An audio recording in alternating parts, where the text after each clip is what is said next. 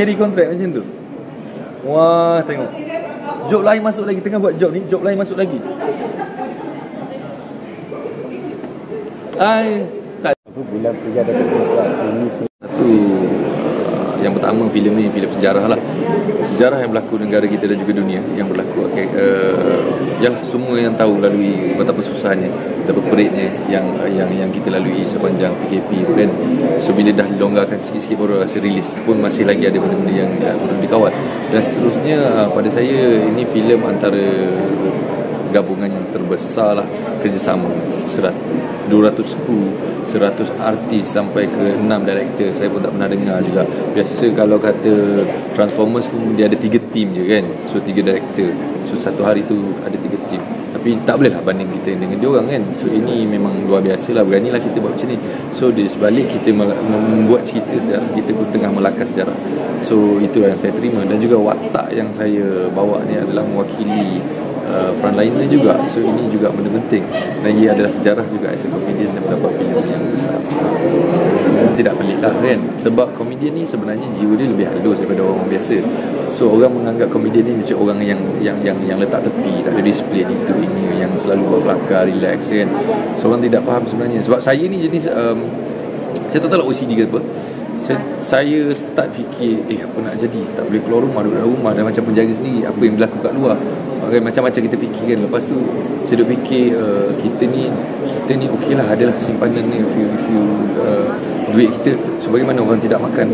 Bagaimana keadaan orang tidak kerja? Bagaimana orang yang kerja gaji dia rendah? Dan bagaimana orang-orang yang kena pecat? Saya fikir macam-macam benda.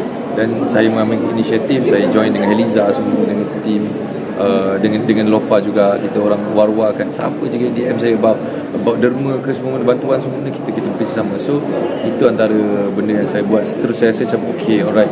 Mungkin kerisauan itu sebab ini sebab nak bantu orang itu sebab Alhamdulillah uh, dapatlah bantu a few uh, apa ni mereka yang susah juga.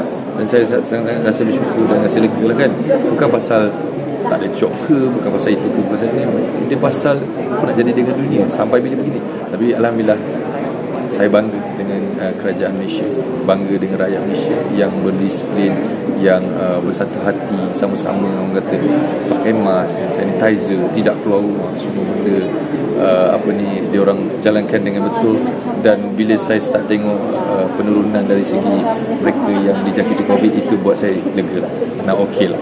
Okay. uh, sekarang kalau dia dia punya harapan uh, bukan untuk hari ini ataupun bila hari keluar it's not about uh, kutipan ke semua benda memanglah kita uh, kalau kita as a businessman kita nak tahu tu tapi pada saya saya nak Malaysia tahu uh, ataupun dunia tahu bagaimana Malaysia menghadapi benda ini dan bagaimana Malaysia handle benda ni sampai jadi okey.